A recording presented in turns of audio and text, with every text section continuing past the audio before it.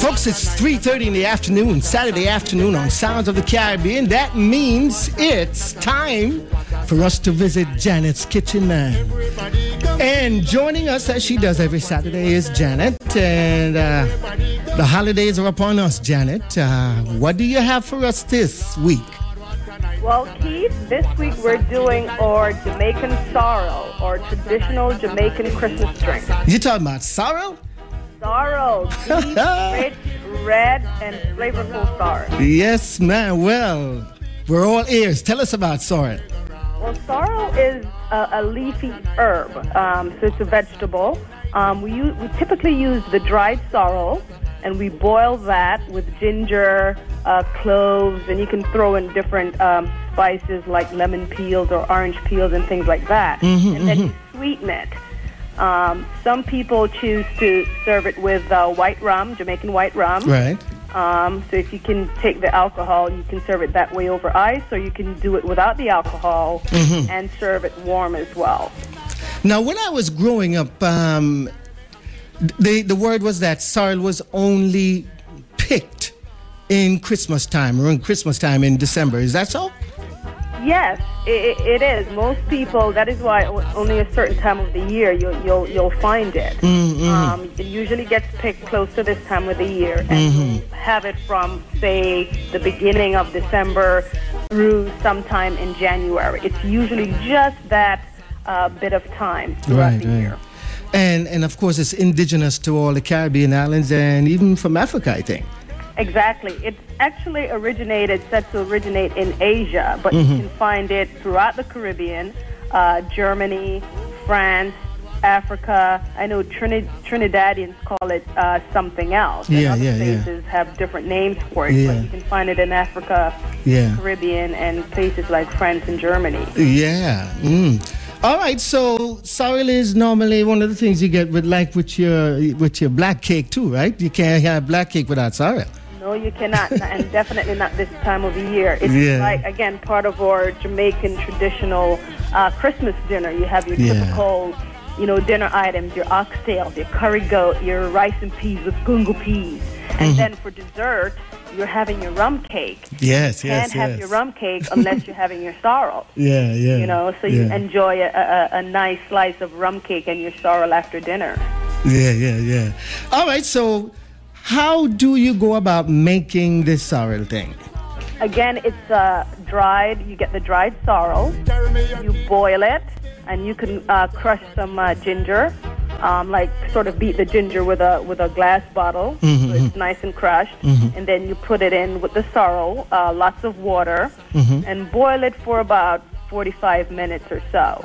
And uh, you can boil it with a clove. You can put some orange peels in there or lemon peels, uh, different things, even some allspice. Yeah. And then once you boil it, you let it sit, and then you have to strain it off and you squeeze out the uh, sorrel leaves because now they are loosened up. They're no longer dry. So you can squeeze those out and get the last bit of flavor Yeah, and yeah, juice yeah. out of that. You let it cool, and you sweeten it with uh, cane sugar. Mm.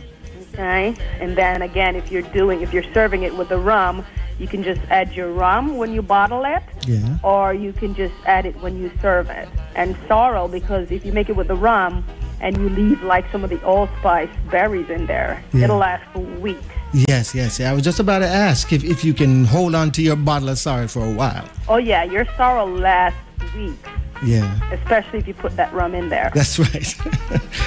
okay, uh, I know that uh, most most stuff that we we make out of Jamaica um, has all kind of good health benefits. I mean, my grandmother used to tell me about about sorrel about all kind of stuff. So, in terms of sorrel, what are some of the health benefits that um, that may be derived from it?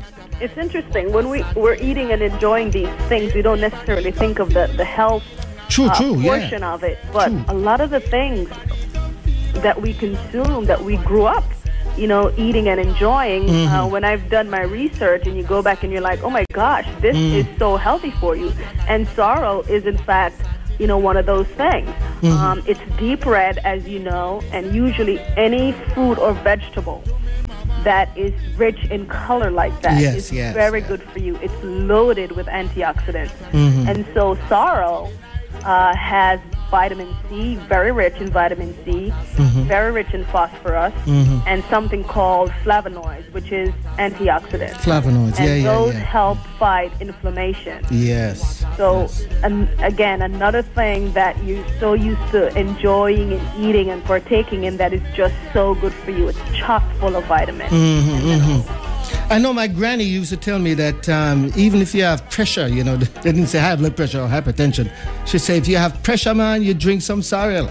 That, that's right. Calms you way back down, right? And yeah. listen to Granny. Granny, Granny knows what she's talking Granny about. knows the deal. Granny is good. Yeah, yeah. So, all right. Um, it's Christmas time, and I know that Scotch Bonnet will be um, in in operation. So you're going to be having some sorrel there too, I suspect. That's right. We're going to feature sorrel all week long uh, this mm-hmm. coming week, the week of Christmas.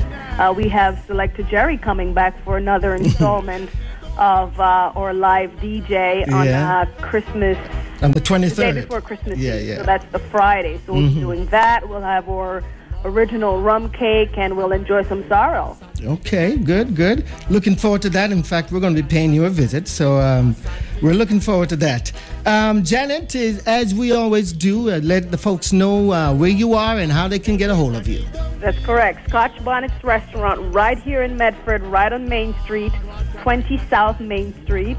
Uh, for more information about all our uh, services, visit us online, www.scotchbonnet.com. Folks, Janet, Chef Janet Davis on the phone with us as she does every Saturday at 3.30. If it's Scotch Bonnet, it's got to be good. Right. It's Scotch Bonnet. It's definitely spicy. Janet, have a Merry Christmas, man, and we'll see you. You too, Keith. You too, Jerry. All right, take care now. Bye, guys.